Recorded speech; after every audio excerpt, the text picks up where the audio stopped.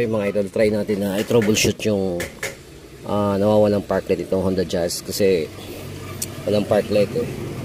So, tingnan nyo, iwan ko yung park light, switch, yan. Dito, taas yung park light. Saan ka, Jeff?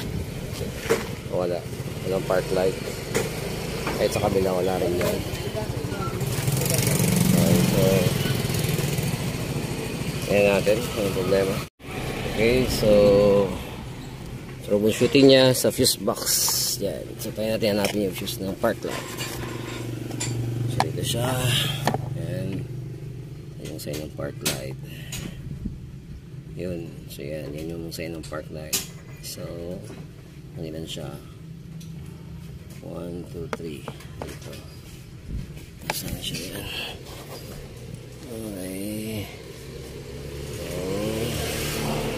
1, 2, 3 1, 2, 3 so yan. Yan yung switch uh, fuse ng park light. Okay. So, try natin. Test. Test muna.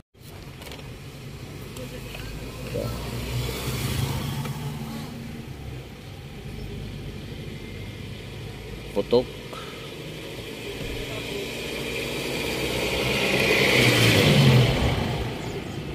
Siya.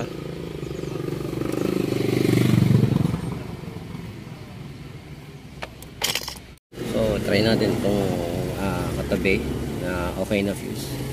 Isaksak natin dun. Kinuha ko na yung sa hazard. Okay, so try natin kung gumana yung park light. Ayan, gumana yung park light. Kabilo na. Okay na siya. Kabila meron. Okay na yan.